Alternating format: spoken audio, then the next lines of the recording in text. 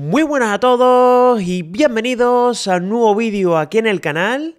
Y bienvenidos a todos al análisis de estos auriculares de tema que veis que tengo por aquí. Estos son los nuevos Creative Zen Hybrid de segunda generación y he estado ya probándolos durante aproximadamente un mes o incluso un poquito más y en este vídeo pues te quiero comentar cuál ha sido mi experiencia con ellos y sobre todo si es un modelo que te recomiendo o no por los 60 o 70 euros que cuesta a día de hoy. Así que nada, como siempre, si no te lo quieres perder, pues ponte cómodo y comenzamos.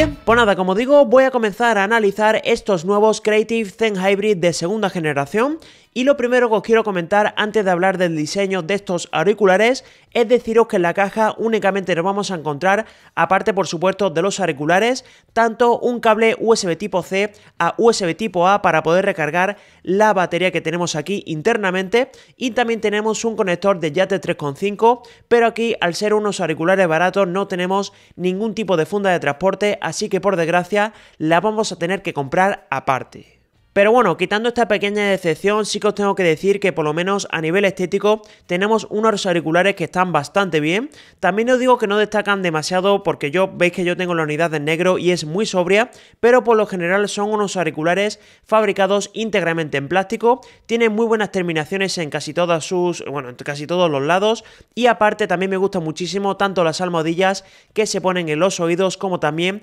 en la parte superior de la cabeza. Y que estos elementos sean tan cómodos, pues al final lo que hacen es que sean unos auriculares bastante cómodos de utilizar en el día a día. Y aparte también me gusta una cosa muchísimo y es que se pueden plegar completamente para poder llevarlo de una manera más cómoda en una mochila o incluso también en la mano. Así que a pesar de que no tenga una funda de transporte, pues por ese lado están bastante bien. Eso sí, debéis tener en cuenta que estamos delante de unos auriculares que están fabricados íntegramente en plástico y eso al final lo que hace es que no tengamos un plástico de muchísima calidad, pero también es verdad que, esto, que eso ayuda a que sean un poquito más ligeritos y llevarlos en el día a día esté bastante bien. Me gusta mucho la terminación también de los botones y otra cosa que me encanta es la, bueno, el ajuste de la cabeza que tenemos en la parte de arriba que se puede pues eh, posicionar como nos dé la gana, es completamente metálico y además está muy duro para que no se mueva cuando ya lo tenemos ajustado correctamente. Y como os he mencionado antes, pues el tema de los botones también me ha gustado muchísimo. Son botones de plástico y están todos situados en la copa derecha y la verdad es que se puede hacer prácticamente de todo con ellos, ya que por ejemplo podemos desde pausar o reproducir la música, cambiar las canciones, cambiar el volumen, también tenemos el botón para activar o desactivar la cancelación de ruido activa, así que como veis es bastante completo. Y por cierto también en esa zona tenemos el conector de jack de 3.5, el conector también USB tipo C para poder recargar la batería interna e incluso un LED de estado para saber si están encendidos o también si están cargados en completo. Y por cierto, para todos los que soléis utilizar este tipo de auriculares en un gimnasio, que sepáis que al menos la marca no da datos sobre si tiene resistencia IP, así que yo os tengo que decir que sí que los he utilizado y con el sudor no he tenido ningún tipo de problema, pero también os digo que tengáis un poquito de cuidado porque al final si le cae algo de lluvia pues se puede llegar a dañar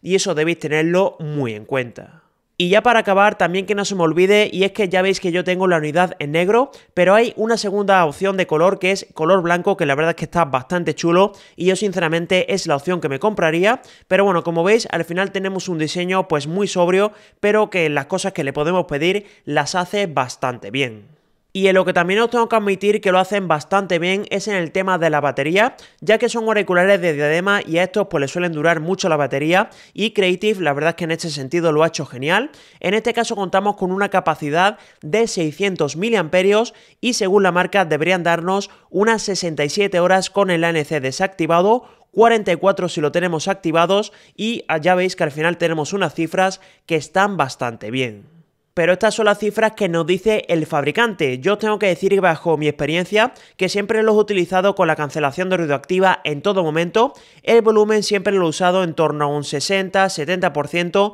e incluso algunas veces también lo he subido un poquito más. Y con todo ese uso pues obviamente no lo he utilizado durante tanto tiempo seguido, pero sí que he estado pues prácticamente una semana utilizándolos a diario en torno a 2-3 horitas y al final pues he tenido la sensación de acabar en torno a las 35 o 40 horas sin ningún tipo de problema. Y obviamente debéis tener en cuenta que si le desactivamos esa cancelación de ruido, pues la batería va a aumentar bastante más. Pero bueno, yo creo que lo que os tenéis que quedar es que la autonomía de estos Creative pues está bastante bien. Y por cierto, para poder recargar la batería, pues podéis utilizar la conexión USB tipo C, que está, como os he dicho antes, en la copa derecha. Pero si, bueno, os quedáis sin batería, también podéis utilizar la conexión de jack de 3.5, que con esa no necesitáis tener carga. Y después de haberos comentado esto, pues ahora a continuación también os quiero hablar rápidamente del tema de la conectividad. Y es que aquí también os digo que no destacan para nada, ya que tenemos lo clásico que podremos esperar, como es el Bluetooth 5.2 y también tiene conexión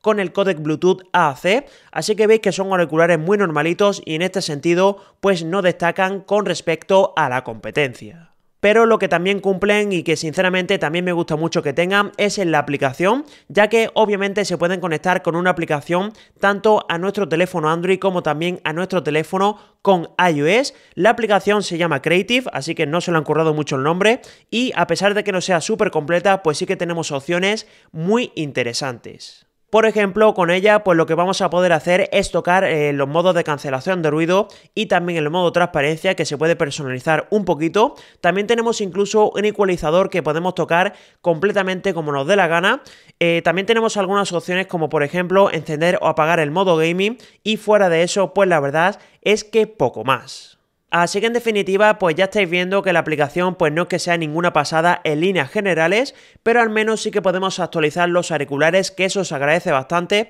para que le vayan metiendo alguna función extra, ya que por ejemplo el tema del, del ecualizador cuando me llegaron no estaba disponible y se ha actualizado y ahora sí que lo podemos tocar. Y por cierto, no tiene que ver directamente con la aplicación, pero sí que os quiero mencionar que estos Creative Zen Hybrid de segunda generación tienen conexión multipunto, así que lo podemos tener conectado, por ejemplo, a un teléfono móvil y también al ordenador, y podemos ir alternando entre ellos de manera muy sencilla, y eso se agradece muchísimo. Y ya por último, pues también os quiero comentar un poquito cuál ha sido mi experiencia con la conectividad de estos auriculares. Y bueno, ya os he dicho que yo lo he tenido conectado tanto a mi ordenador, que es un Mac, como también a mi teléfono móvil, que es un iPhone 14 Pro, y no he tenido ningún tipo de problema. Siempre la estabilidad ha sido muy buena, también no he tenido ningún tipo de corte, e incluso me ha gustado especialmente el tema de la latencia, cuando activamos el modo gaming y de hecho ahora a continuación os voy a dejar con un pequeño clip para que podáis ver qué tal funciona, pero bueno, también es cierto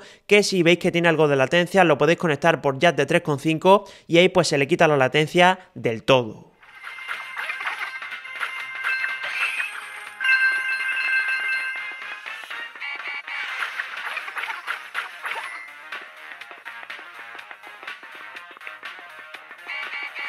Y ya de vuelta también me gustaría hablaros rapidísimamente del tema de los micrófonos que obviamente tienen tanto en la copa derecha como en la copa izquierda. Y os tengo que decir que los micrófonos pues me parecen bastante normalitos en líneas generales, sobre todo en interiores pues bueno, cumplen más que de sobra para realizar llamadas y demás, aunque es cierto que el eco no lo controlan del todo bien. Y en exteriores pues es verdad también que la cancelación de ruido no es la mejor del mundo, pero como digo para mantener una conversación telefónica de manera más o menos rápida pues os van a servir más que de sobra. Y como siempre, pues os voy a dejar con un pequeño clip, tanto en interior como en exterior, para que lo podáis comprobar por vosotros mismos. Esto es una prueba con los micrófonos integrados en los nuevos Creative Zen Hybrid de segunda generación. Como podéis comprobar, estoy en interiores. Y bueno, yo creo que se notará pues, rápidamente que estamos delante de unos micrófonos bastante normalitos, sobre todo a la hora de, de controlar el eco, pues tampoco que lo hagan, bueno, que no sea ninguna maravilla en ese sentido pero al final estamos delante de un micrófono que, bueno, para, para conversaciones telefónicas, incluso para mandar audios a través de redes sociales es más que suficiente. Y ahora lo que voy a hacer es salir a exteriores para ver qué tal se comportan, si lo hacen igual o si por el contrario lo hacen un poco mejor.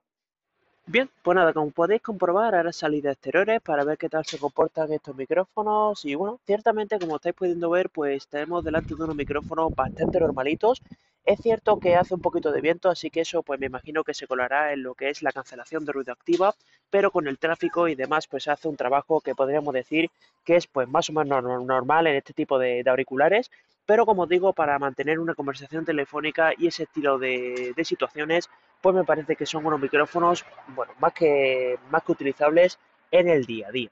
Y ahora sí, ya después de todo lo que os he ido hablando durante todo el vídeo, pues me toca cerrar con él hablando de los dos puntos más importantes El primero de ellos os quiero hablar obviamente del sistema de cancelación de ruido activa, que en este caso la marca nos dice que es de hasta 30 decibelios, que no son unas marcas súper impresionantes, pero bueno, sí que es cierto que al ser auriculares de este tipo, que son de diadema y que recubren toda la oreja, pues la cancelación de ruido es muy muy buena y en casi cualquier situación pues vais a poder cancelar mucho lo que pasa a vuestro alrededor.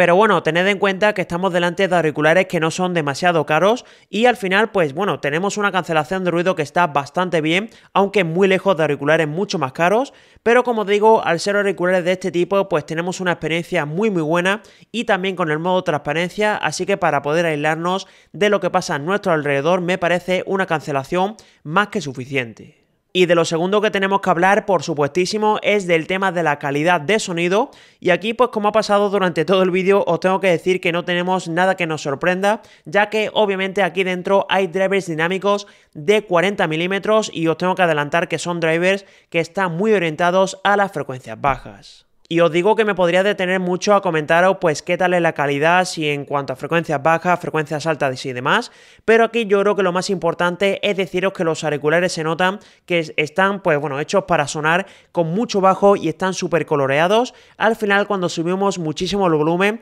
sí que es cierto que se acaba distorsionando y sobre todo las frecuencias medias pues quedan un poquito por detrás, pero en líneas generales son auriculares que están muy orientados a satisfacer al mayor público posible y en eso se nota una barbaridad. Si me preguntáis a mí, pues yo sinceramente me iría al ecualizador y le bajaría esos graves para tener una calidad un poquito más rica en cuanto a sonidos y en cuanto a los planos que pueden llegar a ser, aunque ya os digo que siempre van a ser muy coloreados, pero bueno, al final si os gusta mucha música electrónica y mucha música que tengan esos bajos, pues sí que van a ser unos auriculares que os van a gustar bastante. Y sinceramente creo que no hay mucho más que os puedo comentar en cuanto a la calidad de sonido porque es que no sorprenden para nada. De hecho me parecen muy parecidos a auriculares como por ejemplo los eh, Space que probé hace muy poquito y creo que están por detrás por ejemplo de los Tozo HT2 que eso me gustaron una auténtica barbaridad. Aquí se nota que bueno los bajos son súper presentes y eso al final para mi gusto hacen que pierdan un poquito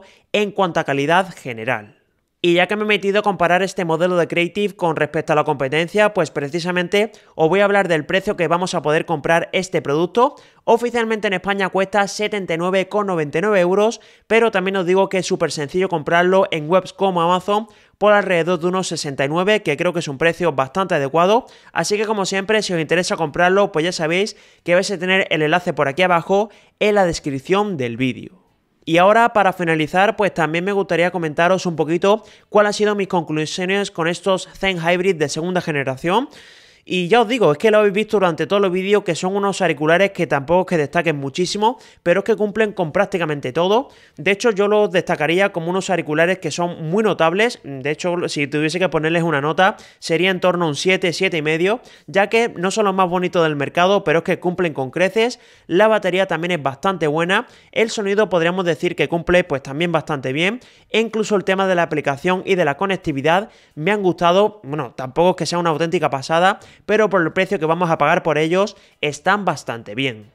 Por lo tanto, yo lo que os podría decir sobre este producto es que si estáis interesados en ellos, pues no me parecen tampoco los mejores del mundo, pero por apenas 70 euros creo que pueden ser una muy buena alternativa si buscáis unos auriculares que no fallen en prácticamente nada. Así que Creative, a pesar de no tener una experiencia súper extensa con auriculares de este tipo, la verdad es que estos Zen Hybrid de segunda generación están geniales. Y nada, por mi parte, pues como digo, poca cosa más os puedo comentar sobre estos Creative Zen Hybrid de segunda generación. Yo os tengo que decir que personalmente no me los voy a quedar, básicamente porque tengo otros modelos que son más caros, pero también son bastante mejores. Pero como os digo, si buscase unos auriculares por ese precio, creo que podrían ser una alternativa pues más que valorable, porque bueno, ya os digo que me han gustado mucho en líneas generales. Y nada, como siempre, pues espero que os haya gustado muchísimo este vídeo y por supuesto, si os ha quedado cualquier tipo de duda, ya sabéis que tenéis por aquí debajo el cajón de comentarios donde, me podéis preguntar absolutamente lo que queráis. Y nada, lo dicho, espero que este vídeo os haya servido de muchísima ayuda y nos vemos en uno próximo. Un saludo.